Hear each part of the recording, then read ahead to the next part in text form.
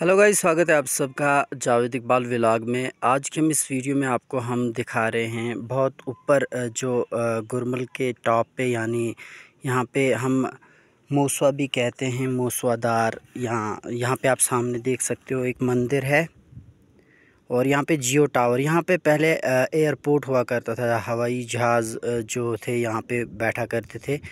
और यहाँ से अगर देखो तो बहुत सारे इलाके जो हैं यहाँ से कवर होते हैं। भागवा हुआ, देसा हुआ, गादी हुआ, आगे मरमत हुआ बहुत सारे एरिया जो है, खलैनी असर, बगर जट्ठी वगैरह सब कुछ। अगर हम यहाँ पे बैक साइड आ जाएँ तो यहाँ पे गलाधार आता है। गुरमुल का पूरा जो है वो सीन आपको यहाँ पे मिलेगा। इस वक्त हम यहाँ पे आए हुए हैं। गासला, मूसवाधार सीनरी जो है बहुत ही अच्छी है क्योंकि यहाँ पे मौसम बहार है और यहाँ पे मक्खियों की गुड़ाई हो रही है।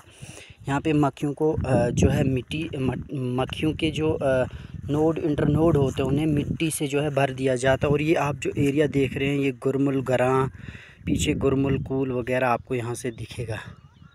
धंधल गगल यहाँ से आपको मिलेगा। काफ़ी ऊपर है, टॉप पे है, यहाँ पे बटला, दहार बेई दहार वगैरह जो है ये ऊपर आप देख रहे होंगे, टॉप पे ऊपर।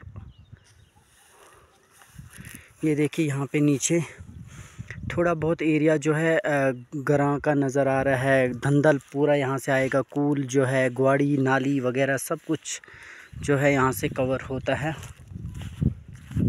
टॉप मोस्ट जो है ऊपर है और इससे अगर अच्छी जगह अगर देखनी आपने तो ये आप ऊपर देख सकते हो जहाँ पे ये घास नहीं है, पेड़ नहीं है भटलाधार कहा जाता है।